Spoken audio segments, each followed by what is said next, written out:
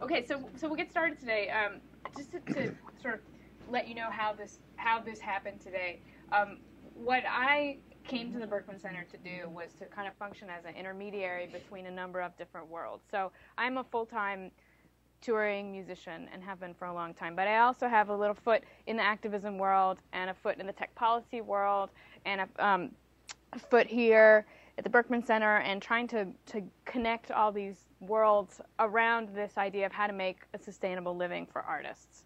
Um, one of the organizations that I've worked with for a long time is a group called the Future of Music Coalition, which was founded 10 plus years ago. Um, and what we are is a national nonprofit that advocates for musicians in the policy space, mm-hmm. essentially.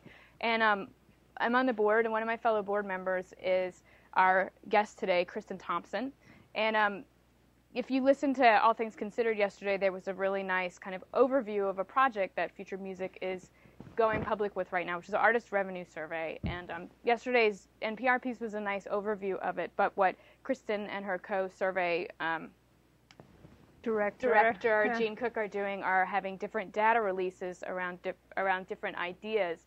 And so we're lucky enough to have Kristin today premiering the data release about um, the teams that artists put together and sort of how that is changing and interacting with the current music business. Um, all I can say about Kristin is she's amazing, and um, educator, activist, organizer, and um, presenter today. Well, thank you Kristin very much. Thomson. Thanks much.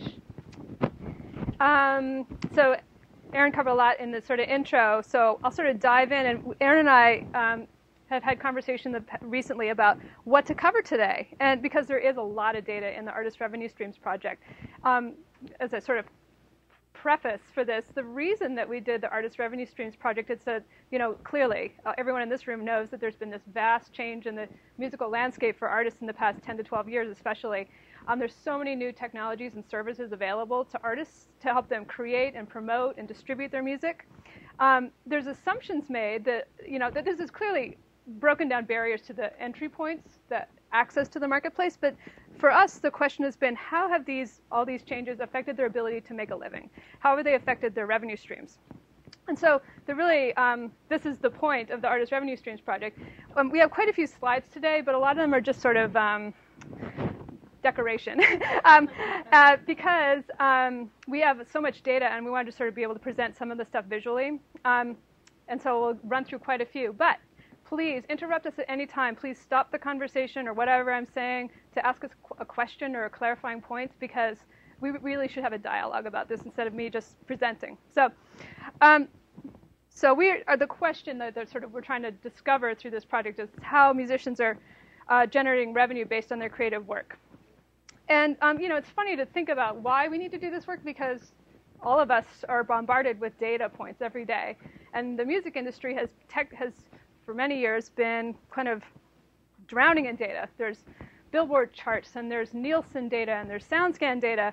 But um, this research isn't trying to understand, say, the label's leverage power or the social graph of artists or whatever. It's, it's not about consumer spending or anything like that. It's about measuring um, individual musicians' earning capacity. And so it's a benchmarking effort too, because this is kind of the first time we've ever tried to do something like this, especially cross genre and amongst all the disciplines. For us, that means composers, recording artists, performers, session musicians, teachers, and people who make money off their brand. So um, it's about how much money they end up putting in their pocket and how it's changing over time. And the, really the only way you can figure this out is by asking musicians directly. So the, the methodology we've been using is a triple one.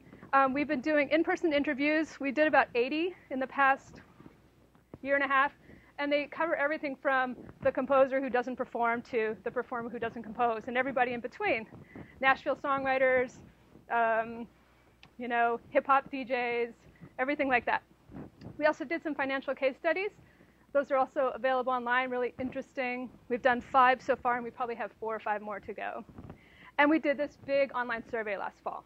And um, as you'll see through, through, some data we can present today, there's, there's a lot that you can learn from this survey. Um, about over 5,300 musicians and composers completed the survey, so we have a lot to work with. So uh, we're just going to touch on some stuff today, but there is a website that holds all of our results and a lot more about the methodology of the project. Um, it's at money.futuremusic.org. One of the things that people sometimes um, know us for is this um, list of 42 revenue streams. Um, we won't go through it in detail today, but it is available on the website, and it itemizes all of the possible revenue streams for US-based musicians um, based on the sort of contours of copyright law and business practice. And if anyone sees anything missing, please let us know.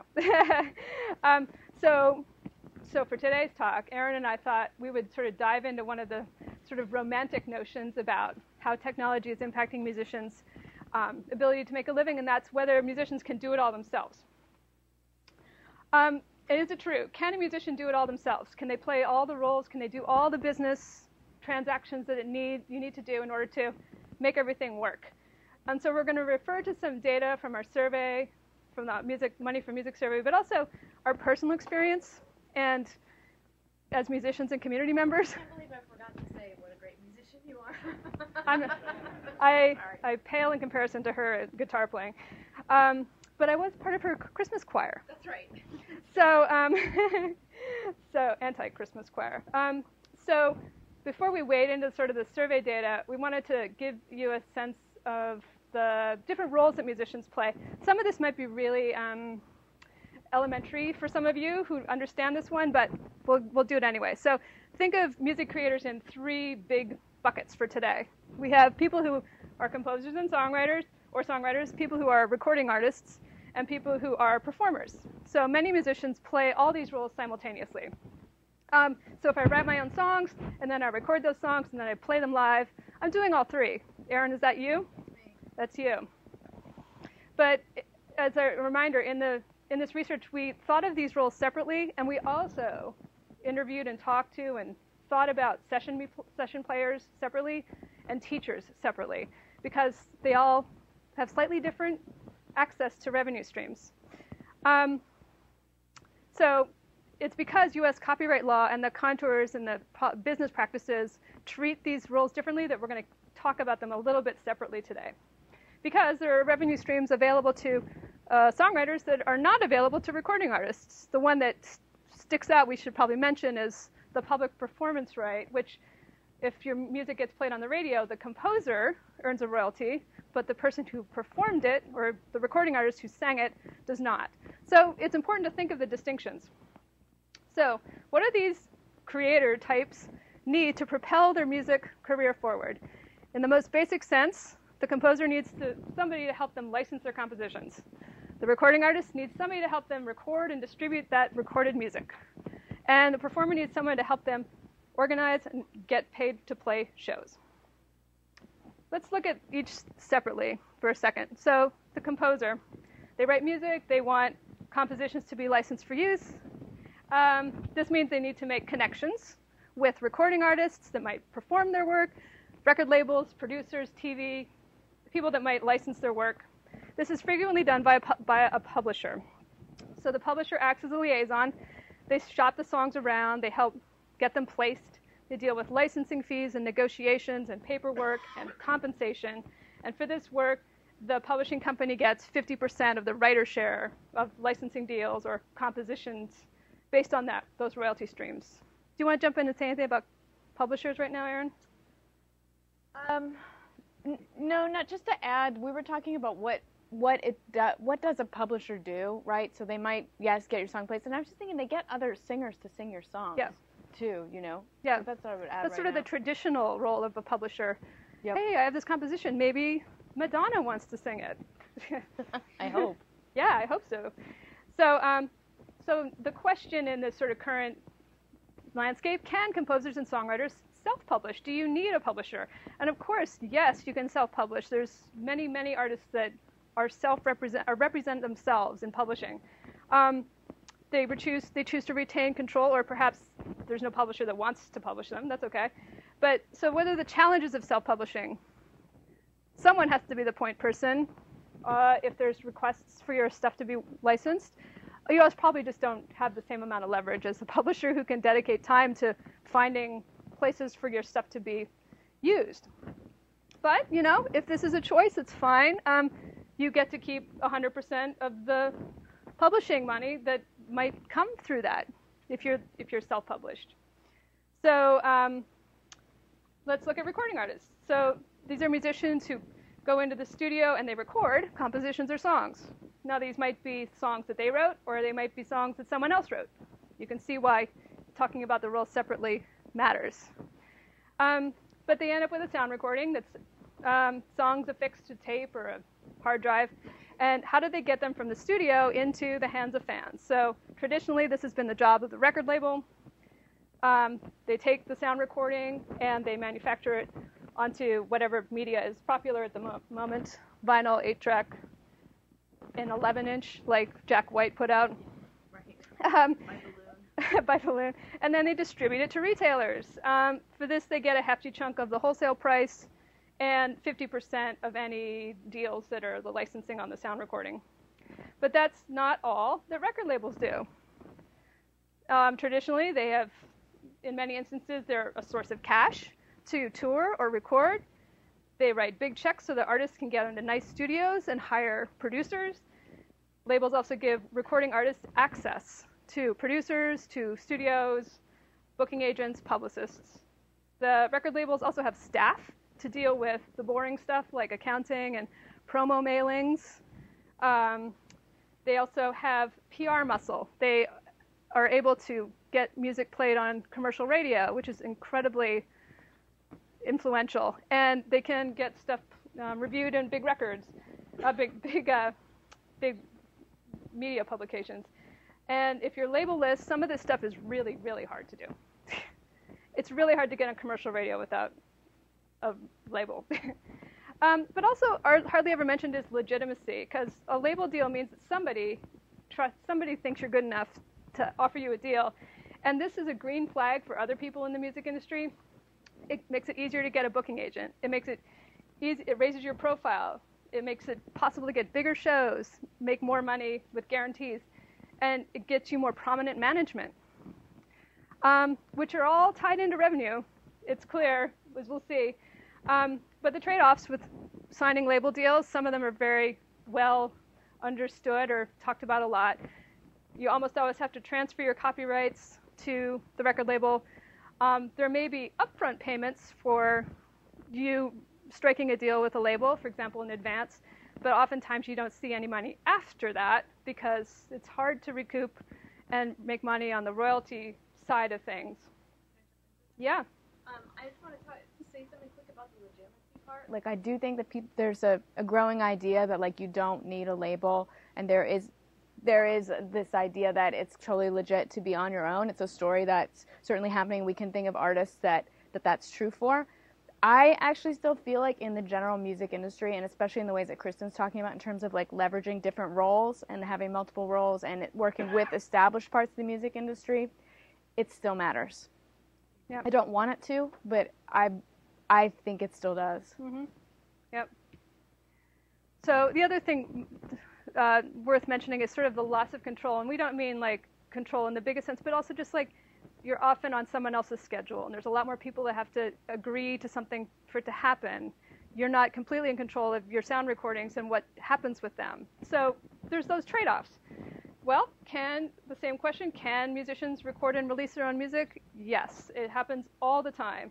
And in fact, it's a lot easier now than even 10, 12 years ago. There are now music services like CD Baby and TuneCore, um, Pledge Music that um, help artists really um, get through some of this, the sort of mechanical parts of things. It's very easy to get music into the big stores like iTunes or Amazon through these intermediaries that make it very affordable and really easy to do.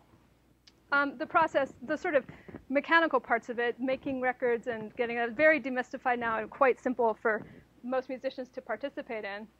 But what are the trade-offs with doing it yourself? You have a long list of things you are responsible for. Promotion, manufacturing, physical and digital distribution if you choose to do physical. Um, and so either that's yourself doing the work, or it, perhaps it's you have a manager, perhaps you have to deal with distributors, you might have to hire a publicist, you might need a web designer, and there's this bottom thing, someone has to pay for it. Um, luckily, this is another place where there's a lot more options. You know, in prior years, if you didn't have a label, maybe you went and got a loan from somebody. But now there's a lot of alternative um, funding sources Kickstarter, Pledge Music, other sort of crowd-funded options. You can strike some partnership deal with other labels. You could go for sponsorship. Um, you could um, ask your parents. You could use credit cards. Um, right? All of those things happen, and probably in bits and pieces too, right, Erin? Yeah, absolutely. And I just, we, we, before we were talking, we also heard somebody talk about thinking about this funding question, which I'd like to return to at the end yep. as something to, to talk more about as like a venture capital question. It's also yep. like a way to think about it. Yep. There's a lot of parallels between the music industry and the venture capital industry. Is there? Yeah. Uh, for example, percentage of companies that succeed, the upfront payments, the lack of, um, and, and so the outcome and the control of outcome. Mm-hmm. Sure. So we'll just move on to our last little role profile performers. Um, this one's the most the most clear cut. It's probably the easiest to understand, just because the the thing that performers need is just connections to venues and festivals and other places where they can perform. It sounds easy, um, but if anyone's tried to book a show here, it's uh, let alone arrange a string of shows for a tour. It's not that easy. Um, so usually performers and bands get a booking agent um, who helps them get shows, and the agent negotiates how much they get paid and um, and uh, the ticket price and the size of the venue. And if the band is going out on tour, they try and string the shows together so you're not driving 600 miles between shows. Um, and for their work, they get about 10 to 15 percent of tour gross. Can bands book their own shows? Yes, they can. But the the hard part is just the, the, the challenges are that you have to sort of fit your world into the booking into the venue promoter's world, calling to arrange the dates on their office hours, um, you know, making this work um, and sort of keeping track of all the details. But also, you just lack the leverage that a booking agent has. A booking agent with a big roster can leverage certain bands against others. They can. They also have green flags in the music world, like a very high profile booking agent means you're just going to get more money because of who that person is.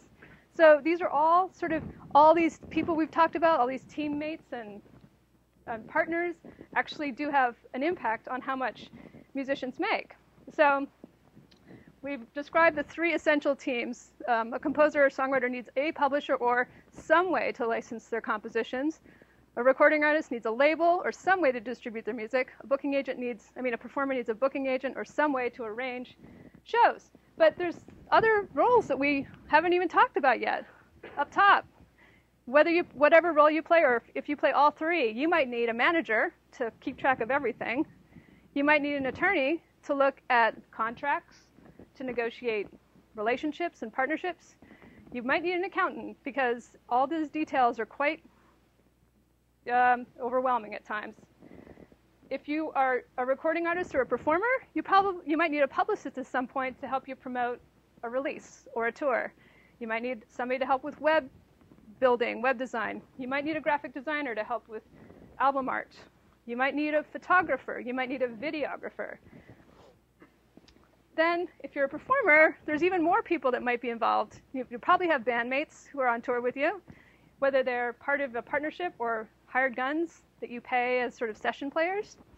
You might have a tour manager to help you keep things organized on tour. You might have a sound person. You might have road crew. And if you're really big, you might have a bus driver. You might have a merch person. You might have a lighting director. You know, like there's a lot of people potentially involved in this sort of team framework. Um, yeah, but the promoter would never work for a particular artist. Yeah, that's true. That's true.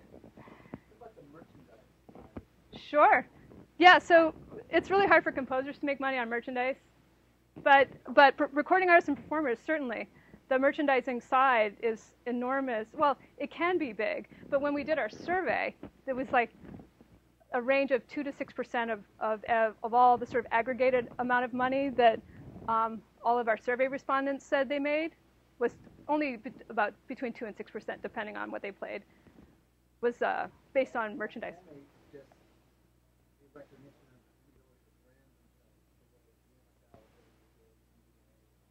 Madonna or Lady Gaga. Sure. Yeah, I mean, it. I'm sure that Madonna's merch percent amount of money that comes from her brand is much bigger than your average artist, but it again is very contextual based on what you do. So, um, yeah. So let's look at a couple of case studies. One of them is the band.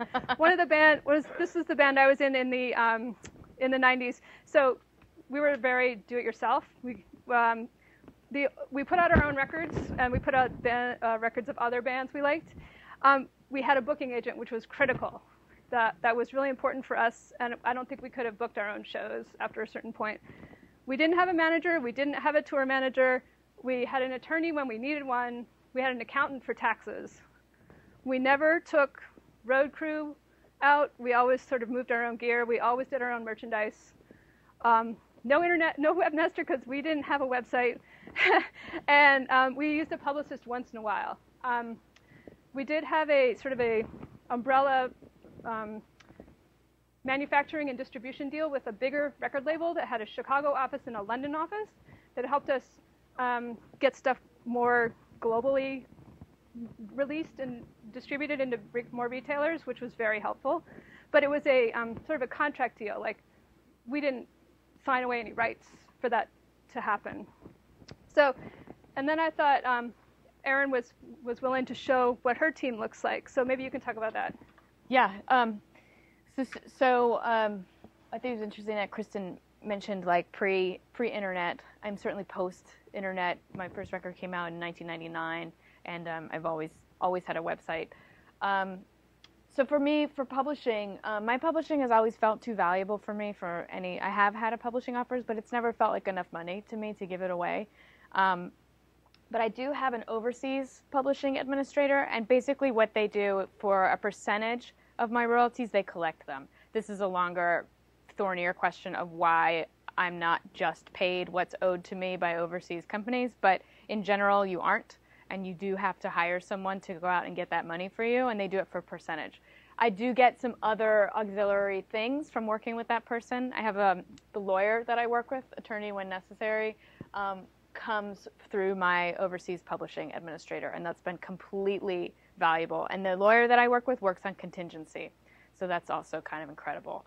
Um, record label, right now I'm self. I have, as I said, with indie major label history. I'm at an interesting point right now. This talk is basically my life, and um, I have a record that's finished. I'm trying to figure out how to put it out right now, and so all of these questions that are coming up are, are real life questions for me. I have a booking agent. Um, I I would say they are possibly the piece of my team I cannot lose. They are the piece of my team I cannot lose. As Kristin was saying, like I could do that work, but I think it's probably the hardest of all these things we're talking about for the artists to do themselves for a number of reasons. So, um, manager, no, self-managed right now. I have had that relationship um, in the past. It's been helpful. It's also it's a trade-off, like any of these other things talking about. So I've enjoyed being self-managed the last couple years. Again, I'm at this point where I need to con- reconsider that. Um, accountant, yes, I have a full-time business manager who works for a small percentage of my tour gross, and um, I also would that would be sort of next to booking agent someone that I couldn't lose. Absolutely couldn't lose. Um, I travel a ton, and my business manager actually like make sure that you know my credit cards get paid and my car insurance gets paid. It's not that I'm not capable of doing that. I do not want to feed this idea of artists not being capable of running their own life. I hate that trope, but um, but it's very helpful for me. Um, I have always had bandmates as sidemen. I have never had a equitable partnership in bandmates, and I actually have preferred that for creative reasons actually it's been really nice to i play a lot of different kinds of music and it's been really nice to as i go through different phases or different records to be able to bring in people who have different skill sets and have a kind of a band that can have a changing sound. Um, and so just to clarify that means you invite people to come on tour with you and then they get paid a certain amount of money for that service? Yeah they and i usually do it by the week but um, other artists will do it by the show you can do it by the tour people people do that all the time but um, in general, I'm mean, I have some players that I've worked with for probably five or six years off and on, and that seems to be in the overlaps. And then I might call someone that 10 years ago I did a gig with because I know they're good at this this certain kind of music that I want to do. And it's the same thing for me in recording as well. Same thing when I pick people to come with me in the studio who aren't necessarily the people that are with me on the road. That's against a creative choice.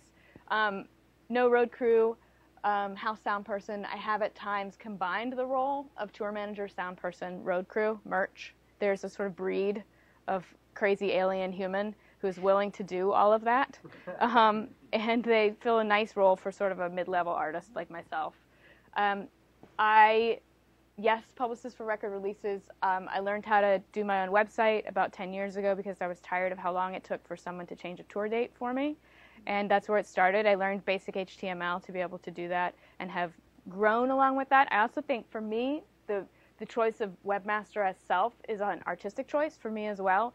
Um, I feel the way that I build my website and the way it runs is an expression, in a lot of ways, an expression of who I am as an artist. And um, graphic designer for record releases and merch only. I, I do have one graphic designer that I've worked with for a long time, for almost everything for the past 10 years. And that's another important relationship for me in terms of having something consistent in the way that I present what I do to the world. And um, that working relationship, the loyalty of it and the understanding of it is really important to me. Do you want to add in one more thing that you have? Your a la carte? Yes. Okay, great. So also, we have all these these roles, and some of them I'm filling myself, and some of them I, I can't. Um, I have started working with a company called By the Pound Media. BJ is here, um, and and BJ is his company is one of a kind of a, a, number of companies, sort of a new breed of company that are sort of rising up to do basically with this a la carte artist services, right? So what I don't have time for, what I don't have a skill set for, I can sort of pick and choose from BJ's skill set and ask him to do certain things for me at certain times. And um, he works with a number of artists, and it's different for every artist. But it's a really affordable, flexible solution for trying to solve these roles. Right. Thanks. Does anyone have questions so far? Like, um, we uh, about the sort of setup of the roles, and also even how Erin is currently organizing her life. life.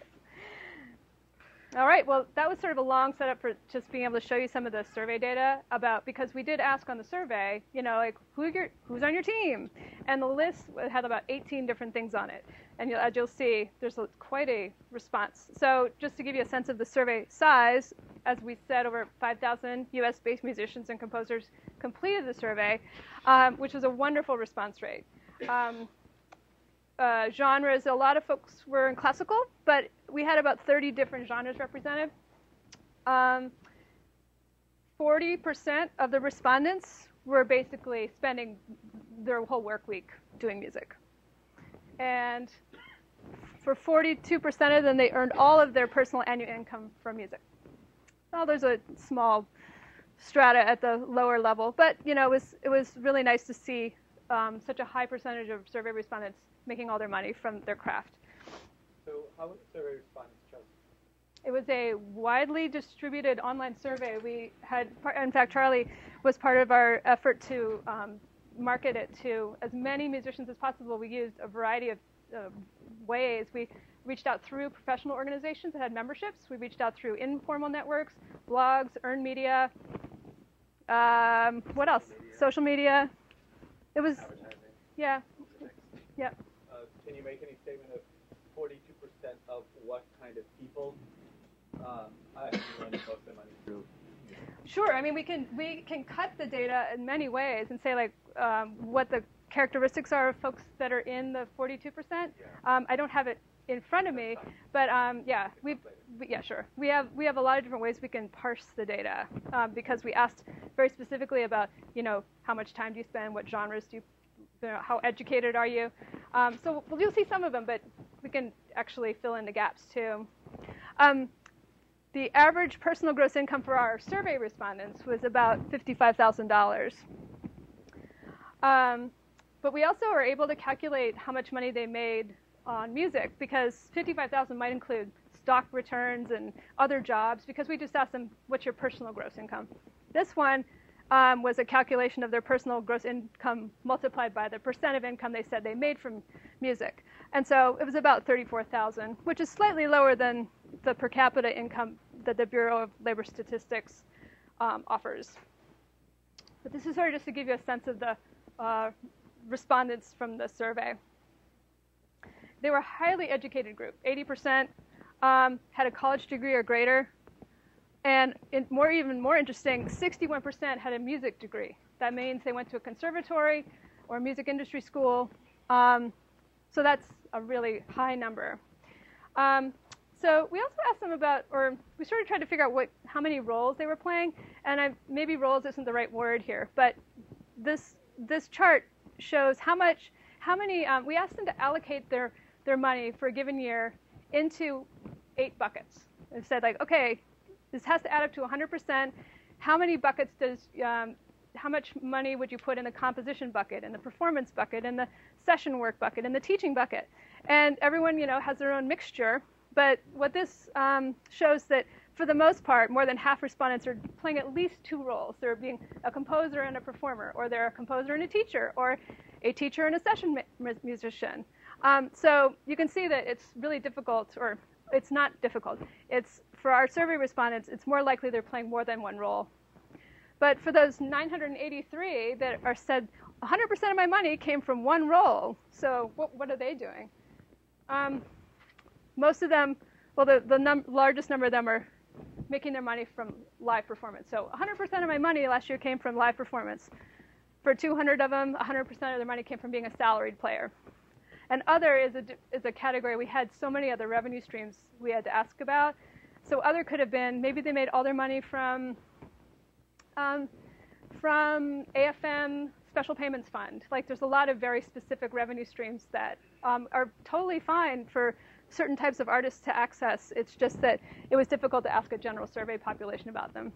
So, so that's just about the number of roles people are playing. So who are the team members of our survey respondents? We'll start with all 5371, the people, everybody responded. Um, as a note, we asked um, not just who's on your team, but what's the relationship. So um, one relationship is, is it a paid or contracted relationship? The second one is, is it an equity slash partnership relationship? Like, are you guys sort of, um, do you have some sort of relationship like that? The third is, is it volunteer pro bono? And the fourth is not applicable. And we made sure we asked not applicable for almost every question because we know that we can't make assumptions about whether this applies to most musicians or not. And you can be, it's clear that not applicable is an important data point. So we can talk about that too. But um, I think the interesting part about this chart is not sort of what's first and what's last, but the number of things on it. You know, there's, I think, about 17 or 18 potential team members. And it was also an open-ended question, so we had more at the bottom. You know, other people, trying to remember some of the responses people gave us. Um, uh, merchandiser. There were some others that were that popped up that we hadn't thought of that were important to some people. Um, but you know, interesting that the not applicable one, just to sort of tease that out a bit. I mean, think about why would a, an, I don't know, a booking agent not be applicable to somebody? Well, if you're an orchestra performer, you're not, you don't need a booking agent. Yeah. Are you saying that 80% or whatever affirmatively said non-applicable as opposed to just leaving it blank? Yes, they said not applicable. So they don't have a booking agent. That's right. Whether they're paid, volunteer, whatever. That's right. Oh, wow. Yeah.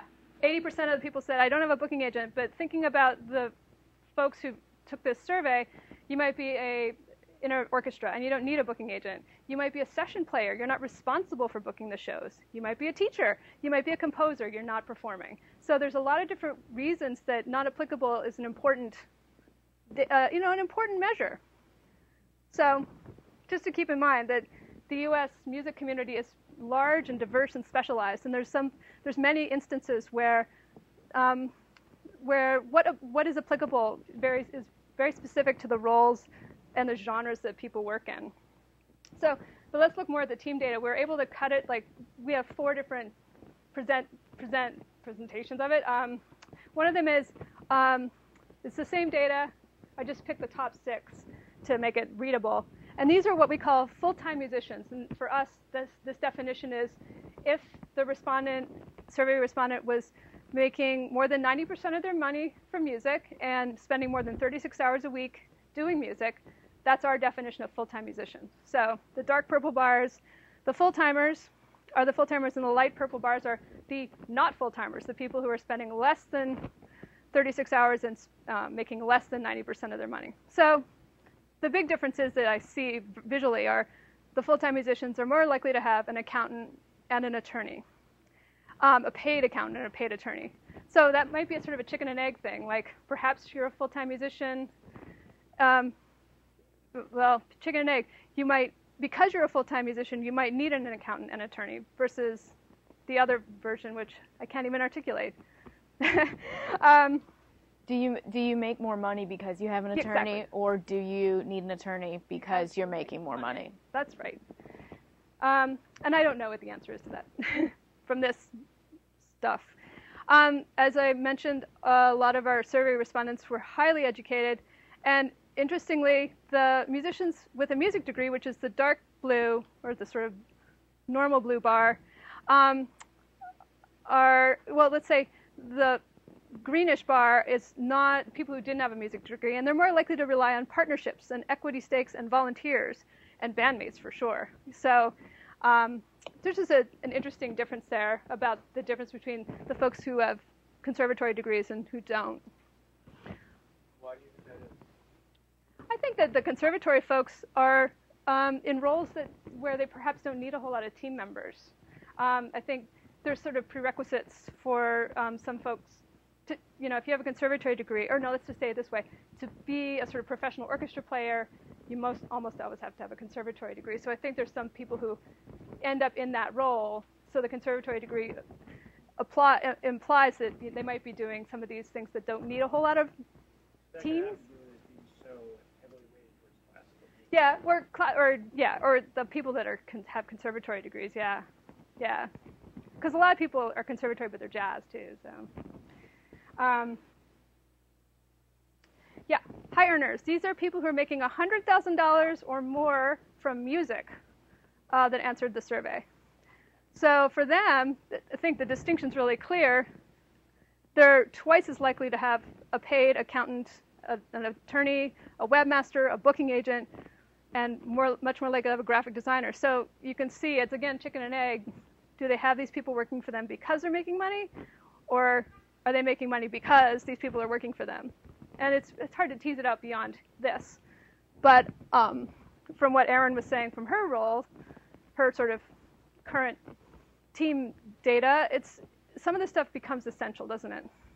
Yeah, I mean, what I would say about that, that chicken and egg question that's sort of coming up about these roles is that what I see is that for musicians, and sort of my, my point is like we do as much as we can till we like are over capacity, and then we do some more, and then we ask someone to help.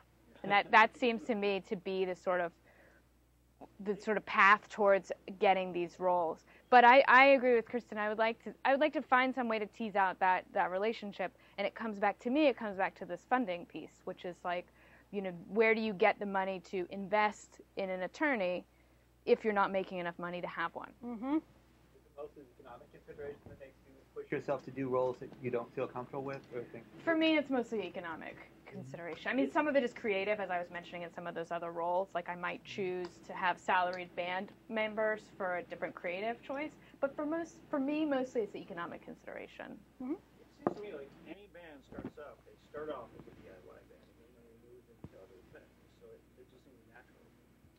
That- Yeah, well, it's, I think it's true-ish, but if, as long as we don't remember that there's there's a lot of folks beyond the sort of indie rock band, meant, you Right. know, framework. But also, I mean, since you've been at this more than ten years, Right. things change too. I mean, Yeah, when I started out, I, I actually had more team members than I do now. At different times in my career, I've had different business structures. I guess what I was thinking is like before you, you can get like the old school music thing. You, to get interest from a label, you wanted to be able to demonstrate that you could sell uh, records and do all that stuff. So you had to build a fan base in the first place. So you had to start the business in the first place. So that's my understanding of it. Well, maybe not for the Jackson Five though. Do you know what I'm saying? Like, like there's a, there's that other piece of it where someone sees like a potential that ha- is hasn't been realized yet and is able to use these roles to help fulfill that potential. Mm. Should we? Yeah, Let's grab go ahead. Oliver's. You, you were saying that at least one of the principal limiting factors is, is time. Just as you say, you do as much as you can, then you try more, and then you, you find help.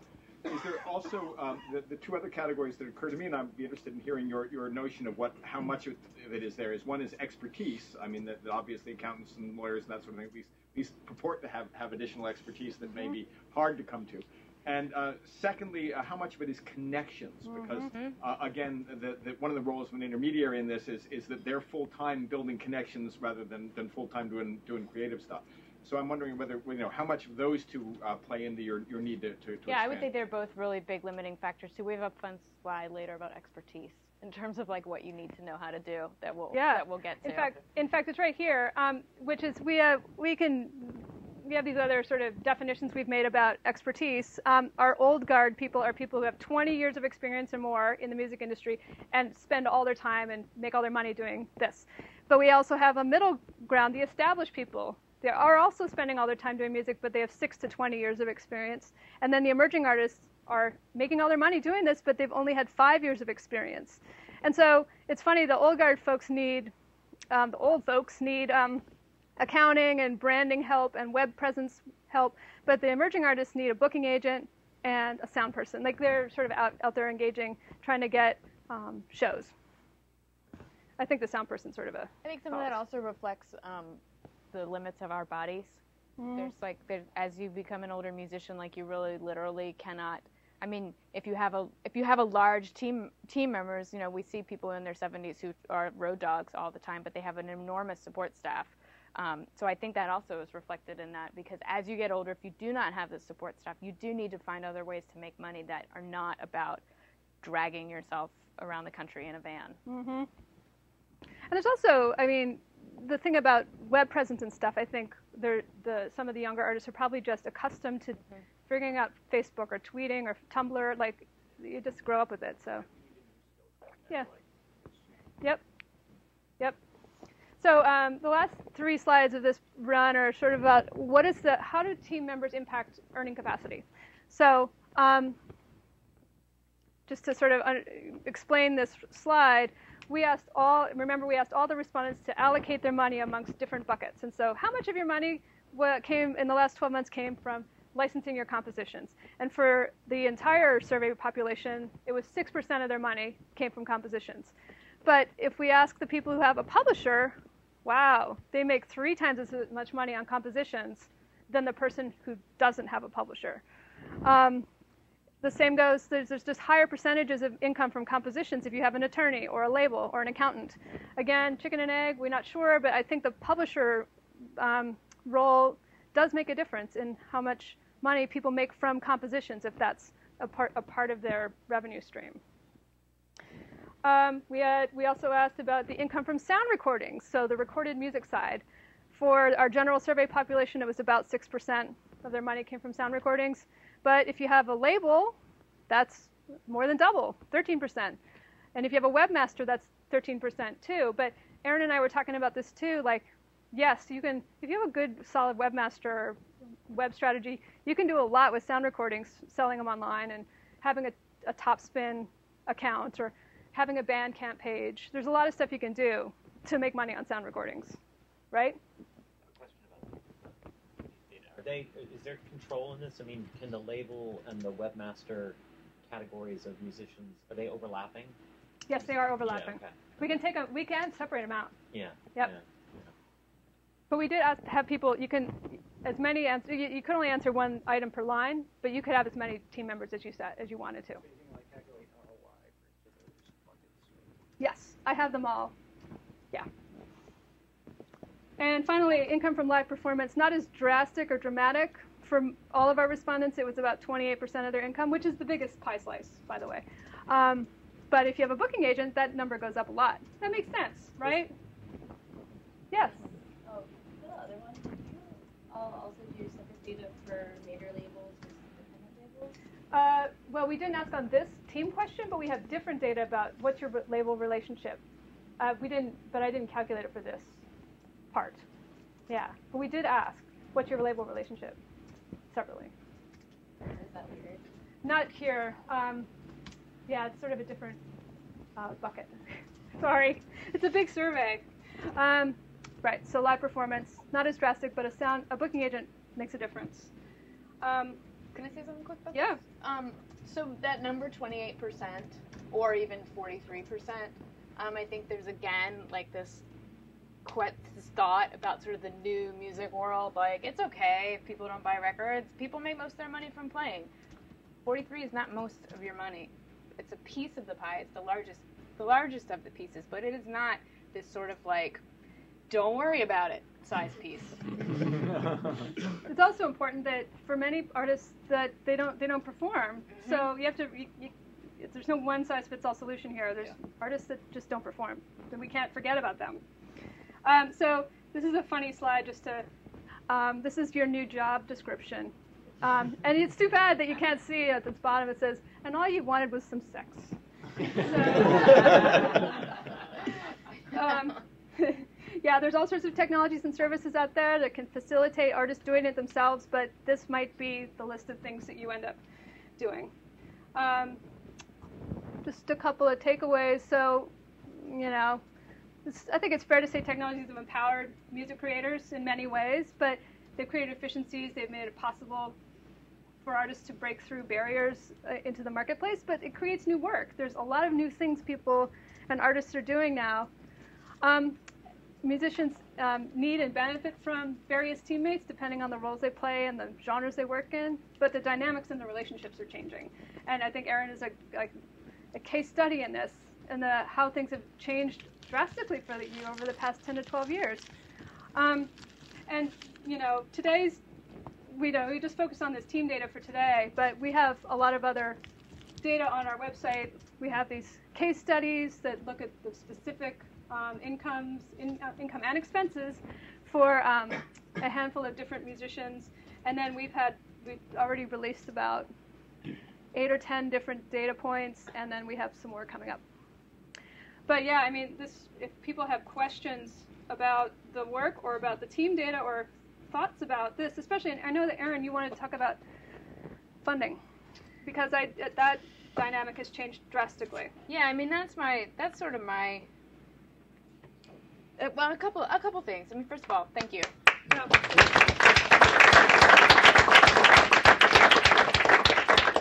Um, I've uh, one thing I thought um, looking through this, and I've seen it before, and we've talked about it a lot. But one thing I um, was interested in is sort of the digital divide, where it comes up in this survey, because the most of the survey data is from an online survey. Um, but you know, it, it's great that you guys also have these sort of non-offline, these offline experiences of talking to musicians. So I just wanted to like put that out on the floor, like especially when we got to the sort of who are the people in this survey. And so I think that's an important part to remember is what you know what there's plenty of musicians that do not have as much access to the online world, and their concerns are something I think we should also be thinking about. Um, and then yeah, so to come back to this funding thing, which I think, think through the course of the presentation, I, I may have said a lot of the things that I was thinking of saying about it, but it seems to me um, one of the biggest questions because what what happens is I think for for most musicians, and I'd love to see this compared to other types of businesses, but like we, we don't have a margin. Like there's nothing really. Like you you really it's very tight. It's very very tight. Even if you are doing it really well and being really smart about it and being really conservative, there's still not a lot of extra money floating around. And with the, the piece of, as Kristin was saying, there's some of these sort of advances that come from labels or publishers are drying up, and it's leaving this sort of big hole for us to find out where is that capital going to come from. And I'm glad that you mentioned credit cards. So many people, that is their solution. That is the only solution. It's really hard to get any other kind of loan for being a musician. So credit cards, and we all know like terrible rates on credit cards, and that what an awful cycle that is. But it's kind of the only thing available in some ways. But some other things are starting up. You can ask your family, but then look at who that excludes, right? A lot of folks that don't come from families with wealth, and so are they able to be artists? And should that be a limiting factor to who gets to participate in these systems? Um, we have things like what Jace what Jace here does at Pledge Music. Um, there's other platforms that do similar things that are rising to try to fill this. And then um, sponsorship, Kristin mentioned, which I hadn't even thought about. There's a lot of bands that are, um, the first one that comes off the top of my head is OK Go. They're a band that has gotten um, sponsorship from non-musical companies for their sort of videos that they do. They had a video on the Super Bowl that came from Ford, Mhm. paid for it. They also did a State Farm sponsored commercial. They also did a Land Rover one, I think. Um, they, they've sort of filled that gap that comes up with um, money from other places. Now they say that, that that money has come with very few strings, which is great. I don't know that that's always the case. So those are sort of my things to, to push onto the floor. But Chris, Well, great presentation, and, and I guess I was thinking about the do-it-yourself piece of it. We're in the shadow of Harvard Law School.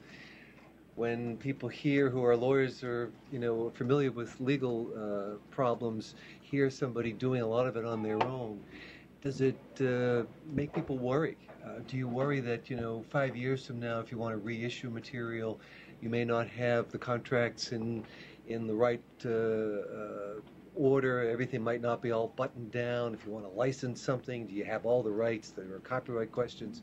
I, I mean, it seems to me there's a there's an exposure here. I can understand the necessity for, for having to do it on your own, but does it worry people in the room that uh, the artists are exposing themselves to to a lot of potential problems? Yep. Well, the, the highway is littered with people who sign bad deals. I And- mean, it's, it's incredible. Yeah. I mean, uh, I'm trying to think. everyone, this is Walter McDonough, so music lawyer and on the also on the board of Future Music Coalition. Um, U2, like, when, I mean, the, the classic stories, you two signed like the worst deal of all time. And um, when they hit critical mass, they, they, they had the leverage to renegotiate it. But I, I worked for a pretty prominent lawyer in the business, and I used to him, you know, what are you going to do with these people who signed bad deals? He said, the only thing they can do is become very successful. Do they have the leverage to renegotiate? But unfortunately, for people, I'm working with a band right now. It's a very prominent Midwest punk band that has this brutal deal but they're not at the level where they can command the leverage. So it's that's you're, you're absolutely correct. And- I mean, people cheat themselves out of their future by signing bad deals, starting legal representation. Yeah, and it, on a, even on a more basic level, um, in the 1990s, I ran an, an independent record label. We put out our own records, but we also put out records for bands we liked. And so we had about 75 releases in eight years. Um, the thing that I wish we had had at that point was just a basic band agreement. So how much does, what percentage does each person get in the band, and who do I send the money to? I mean, it's really basic, but for now, 15 years later, I have still have trouble figuring out who gets the money. That we get these sort of small payments from iTunes and stuff from the catalog being available. There's like just basic sort of historical arcs on some of this stuff that have to do with contracts and very basic legal agreements that I wish we had. and it's hard because we were totally DIY. And I, I think the thing that we didn't want to do was create a mistrust. Like, why would we be asking them to sign a contract? We were in Washington, D.C., in the shadow not of Harvard, but of Dischord Records. Yeah. Um, and that was, they were our flagship label, and we wanted to act like Dischord, um, which never signs contracts. So, but it, it's not because we want to rip bands off, but now I wish we did just because I wish I had some instructions. yeah. Oliver? Uh, I've also uh, have been a, um, um, an entertainment lawyer in, in the and in the music business a bit, and uh, I would say that your question is has got many different layers in it. For instance, there are some very good form books out there. The, the, the classic this this business of music is out there. It's got a whole set of forms in the back. They may not be the most up to date things going, but but if you educate yourself about it, the certainly the dealings within and around the band and the, you know getting rights at that kind of level is something you probably can manage on on your own would be my expectation. And you better because because uh, uh, at least starting out, you're not likely to be able to afford more more high priced. I think you're hearing also though that when you're dealing with other professionals in the industry, like the record companies, the publishing companies, that's where uh, there are frequently some of the landmines that are just hidden there. And, and as you say, you can sign yourself away for, for, for, for a, a bad a bad recording deal that suddenly you're stuck with for the next 10 years unless you can get very famous and renegotiate. So so there, there are different spots uh, for this. And uh, my own recommendation would be, you know, you can if you take the time to self-educate be reasonably good at, at the kind of entry level stuff. What you don't want to do is to sign anything that's multiple years or, or, or, or that kind of thing without without an experienced guide into it, because that, that, that you can get in. Yeah, I think that, and I also think it speaks to I, I mean, something that comes up for me looking at all this stuff, and especially the slide about "and all you wanted was sex," like that list of things. You know, it. I do marvel at over the years I've been doing this how I've become like semi-expert in a number of different things. Like I can talk to you about different types of paper and four-color printing processes because I've printed 10 CDs in my lifetime. Or I can talk to you about how to make a great T-shirt and how many screens you need and let's price it out. You know what I mean? Like, and I, actually think that that's really valuable. And I think for every artist, there's probably like a tipping point that's very personal in terms of how much of that you want to know. Um, but I would encourage all artists to please try to know something. Um, and again, that goes back to this other piece that I mentioned before, this sort of this trope that like the artist is this idiot that can't fry an egg. But I, I mean, feel like if you can play the saxophone at a world class level, you can understand basic contract law. I, I would add just in addition to contract, certainly for the composers and the songwriters, like the intellectual property component is critical. Um, and um, I know it's about revenue, but did you ask if they were having fun? We asked about time allocation. A really interesting question was um, if, if money was not an issue, what would you be doing more of? And the top answer was I'd be spending more time in the studio recording. And the one at the very bottom, fundraising. Yeah. totally. Yeah. But uh, we, we should we'll have to post the time allocation stuff soon. Um, maybe maybe this week. It's really interesting, just as like an interesting Now snapshot. that you've done it, is there a question you wish you would have asked that you didn't? Uh, ooh. uh, you know, I don't know yet. I, I'm still kind of wading through all the data to figure out what we've learned. So I don't know yet. Saw Harris for a second, Yeah, and then we'll do Matt after Okay. Yeah, really appreciate the methodology of this presentation that you segmented uh, different source of revenues that uh, in terms of this field musicians that people make. And I'm wondering, uh, in, during your process of research, have you ever found that maybe certain people might uh, earn much more money than you expected, and why is that? Or a certain kind of people make less money than you expected, and why is that? Hmm. Yeah, um, it, it mostly came up in the interviews, um, and it it's sort of it's it's hard to quantify. But when we were when we were doing interviews, we used um, a snowball sample method. So we had sort of individual we had individuals that we started with. So it, we wanted to find a musician type. Like we want to talk to a Nashville songwriter, and we would find one, and then we'd use a snowball sample to find we'd ask that person for peer referrals. And so as we moved beyond our sort of initial list of, in, of interested peop interesting people, we started knowing fewer and fewer, like way fewer people. And it was fascinating to talk to some artists who I'd never heard of before, who were doing totally fine, making a full-time career at music, who I'd never heard of before, but also were making quite a bit of money.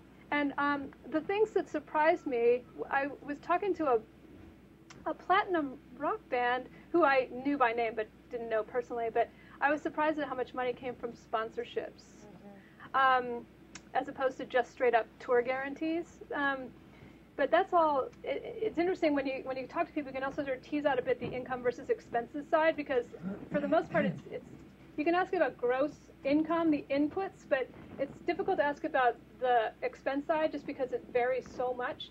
We did on the survey ask um, ask people to sort of, hey, what's gotten more expensive on the touring side, like gas, travel, session players, um, staff. But it was hard to ask about expenses on other stuff because oftentimes artists aren't paying for them or it's just too variable. And you also have this whole revenue picture where it's like you might make. Um, there's this term we we came we were talking about this morning that I don't know if you guys know or not. But it's something called mailbox money, Mhm. and it's basically like every artist's dream, right? It's the money that just shows up for something that you didn't have to put effort into. So that's like royalties or a sync license, um, that kind of thing. And and so that money, you might have another bucket that is like so far in the red that your mailbox money covers that bucket. So like it becomes this like bigger piece in terms of like where any any margin or profit is coming from. Mm-hmm. Yep. We had Matt. After. And if you look at the case studies, it makes it very it's very clear. Like a, a jazz, the jazz band leader is making a, quite a bit of money from live performance, but the more they make with live performance, the greater the expenses get. It's very clear that Yeah. it's hard to make like sort of use uh, effic- efficiencies. Right. touring just costs money. Yep. Yep. Yeah. Go ahead. So uh, another question about sort of the quality, maybe the kind of the, the fun of the life, um, and maybe it's a bit of a chicken and egg question as well. But the the musical community, how, how does that do you do you see in these data any any way of, of coming to grips with how the technological engagement changes the way in which you know you find musicians to play uh, to tour with or or to play sessions with? I mean, is that still does that still is kind of a survival of the word of mouth of gigging musicians, or you know, when it comes to putting a street team together or doing merchandising, what's are people is the technology having an impact across the board from like session musicians and orchestra members to independent musicians, or is there a lot of variability in the, in the ways in which people are using these tools to build their communities? Well, we did ask people like, how are you using technology, and the things that um, they say it helps them engage with fans, and also it helps them collaborate with others. Yeah. So. Um, I was actually a little surprised that collaborate with others was as high as it was on the list. Um, it wasn't just about the pure sort of economic, hey, I'm selling music, or I'm, you know, I've got a zillion Twitter friends. It's like I can collaborate, and um, so technology has a sort of a, a more meta um, effect as well. It came up in the interviews too. Like people talked about it's democratizing power, you know, and so it's more than just, hey, I can get my stuff up on iTunes. Yeah. Um, I would second that and say, especially the first thing that came up when you were asking your question was, um, uh, this new record that I've made has, um, it's got like 16 people on it and it's made at nine different studios.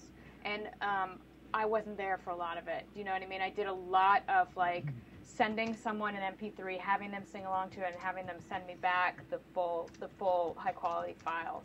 Um, and that, you know, then you also like not to get into another set of weeds, but you've got these like I use like services that allow me to move big files across the internet. Um, and it's made it in completely possible for me to have this friend who was on the road. I needed her to sing on the record, so she stopped at my friend's place in Nashville and did this thing on a Sunday morning. And then later that day, my friend in Oakland, also doing the same song, who was able to do it. So technology is like big time for that in terms of collaboration. The other thing I'll say about the street team, you mentioned street team. Um, I find that interaction, the last time I really tried it, which was probably about four or five years ago, to be like pretty unreliable. Like, well, I'm gonna balance that with another story, but at one point, you know, you could email me and say I want to help with merch for the show or I want to put posters up, and I would say like three out of five people never showed up or didn't do what they said they were going to do. Now, the other hand, I used um, social networks to crowdsource choruses for a tour that I did in December. This was Kristin was talking about the beginning. I did an anti-holiday tour, and I had cranky carolers, and they were crowdsourced from Twitter and Facebook. I just a couple weeks beforehand said like, okay, I'm coming to Philly, and if you're willing to wear a bad holiday sweater, I'm to give you a copy of the album and um, a handmade hymnal, and love for you to come on stage and sing. And um, it was an incredible experience, actually. I met some really fantastic people and had very, very few drop out. Basically, everyone who said they would come came. And I think the night you did it, there was maybe like 15 people in the chorus. Um, most cities had between like 10 and 15 people. So that's an opposite story to that. This um, it's it's we're at 12:40 right now, so um, we'll do this question and then and then we have one more back here. And too. then we got one more. Okay, perfect. It's really fast. All right. Okay. But it's probably moved. By any chance, did you ask people if they were happy? We didn't ask um, sort of a satisfaction. We just asked about time allocation. That yeah. So we don't know whether making more money or less money or independent labor, all that, what its No. effect on satisfaction. No, didn't. Sorry. That's a good. That's a great point, though. Yeah. Really Too focused on the money aspect. I'm sorry. what is happy? yeah. Dalida. So my question is about, um, and you kind of touched on it, talking about the recording of your latest CD. Um, but what is the role of recording studios Mhm. in the ecosystem? Um,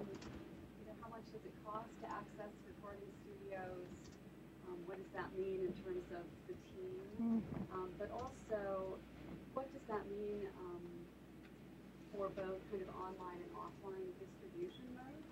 Um, you mentioned before, Erin, that online distribution is not the kind of panacea. It's, it's not um, a really high impact revenue stream for you. So I'm sensing that in the contemporary scene, there's a lot of interest in offline distribution DIY, you know, innovative forms. And so, does that uh, is that a response to the online, you know, mode? Mhm. But then also, how does that impact how things get recorded?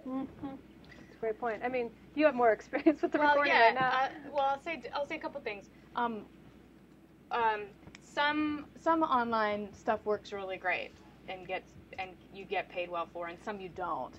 And and I think there is an important distinction in terms of that. Like, you, certainly there's some services that pay well and some that don't, and and you can't make a generalization to say that it it um, that it is totally great because if everyone know everyone knows the sort of like Spotify problem, which is that they basically don't pay, and um, on on the the fan side, fan facing side of that is oh this is amazing service, and on the musician side it's, it's more complicated.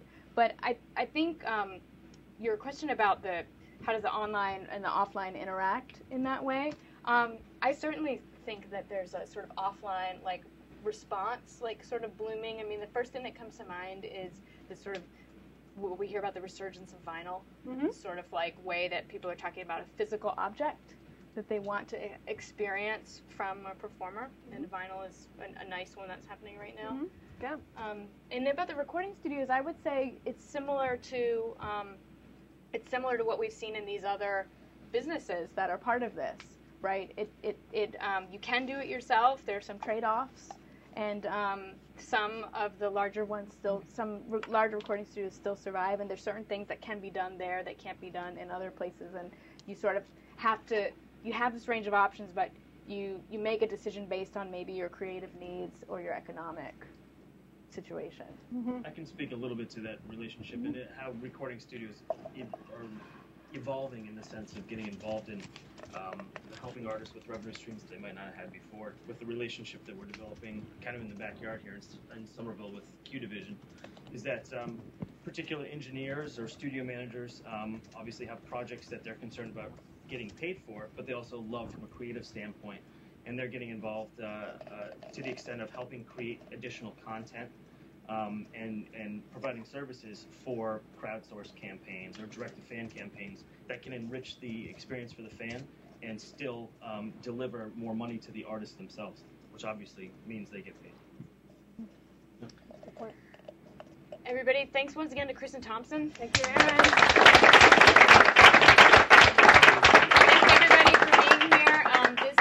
Is going to be archived if you want to go back and you have more questions. Kristin and I are easily found, and uh, money.futureofmusic.org. So thank you. Thank you. You're welcome. Nice job.